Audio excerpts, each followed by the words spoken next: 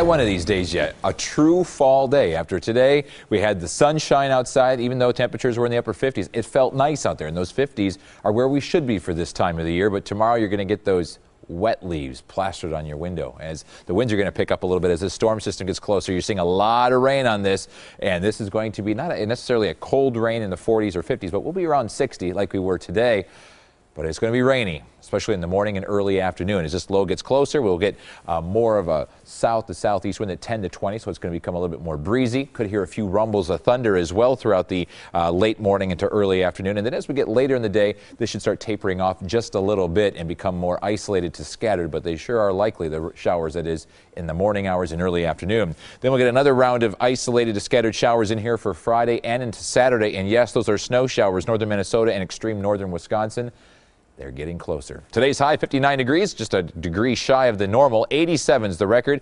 We had our first patchy inland frost of the season so far here in Milwaukee. We were 41, so no frost. But you can see Burlington at 30, West Bend and at Fond du Lac, they were both at 32 with that frost this morning. Temperature right now in the 50s and the 40s. It has cooled down quickly after the sun set down to 40 in Burlington, 53 Milwaukee, 43 in West Bend.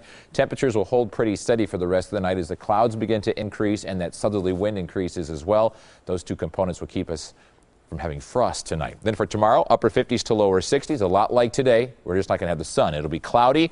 It'll be rainy, especially the first half of the day into the early afternoon before things start to improve. We'll keep that rain chance throughout the daytime, even into the evening, and then by tomorrow night we'll start to dry up just a little bit. And then for Wednesday, some scattered rain showers around and some drizzle. So two straight days in a row of true fall Wisconsin weather.